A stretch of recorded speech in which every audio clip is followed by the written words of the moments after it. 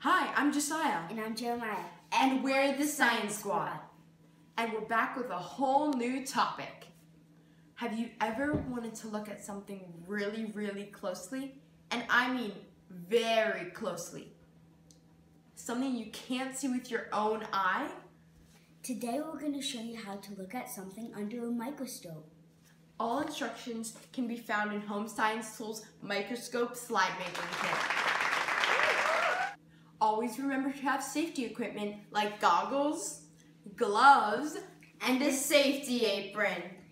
Today it would be uh, we thought it would be really cool to look at the inside of our cheeks. To do this, we will need some microscope slides, some cover slips, sterile cotton swabs, and some blue stain.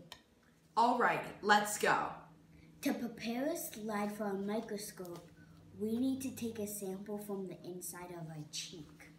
This is where the cotton swabs come in.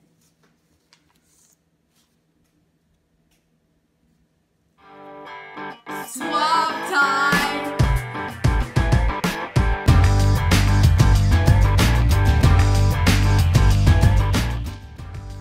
Now we have to smear that sample on our slide.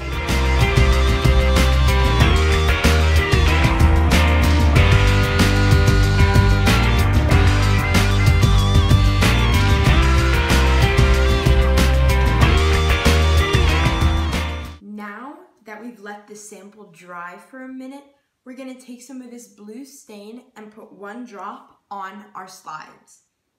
And we're going to cover it with a cover slip.